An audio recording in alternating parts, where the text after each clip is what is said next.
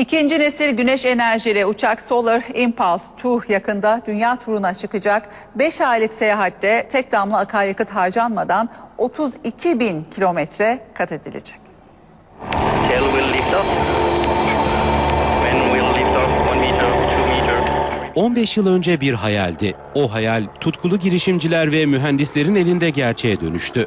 Güneş enerjili uçak Solar Impulse büyük bir maceraya hazırlanıyor.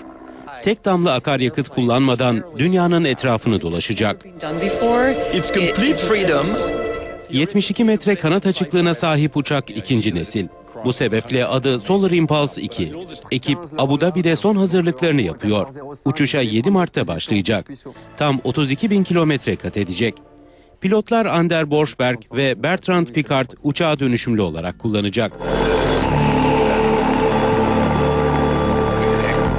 Uçağın gövdesi 55 kilo. Toplam 72 metrelik kanatlar üzerinde güneş enerjisini toplayan 17 bin hücre var. Bunlarla birlikte ağırlığı 2300 kiloya ulaşıyor. Gündüz doldurulan aküler sayesinde uçak gece de uçuş yapabiliyor.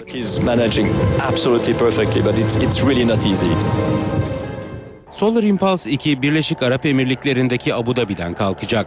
Önce Umman'a inecek, sonra Hindistan, Çin, Japonya rotasını izleyecek.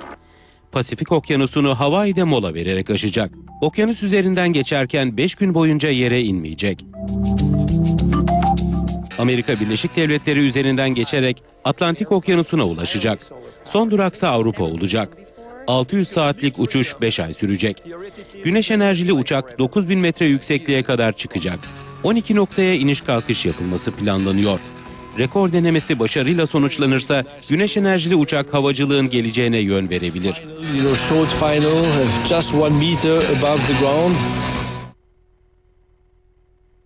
İstanbul'da başka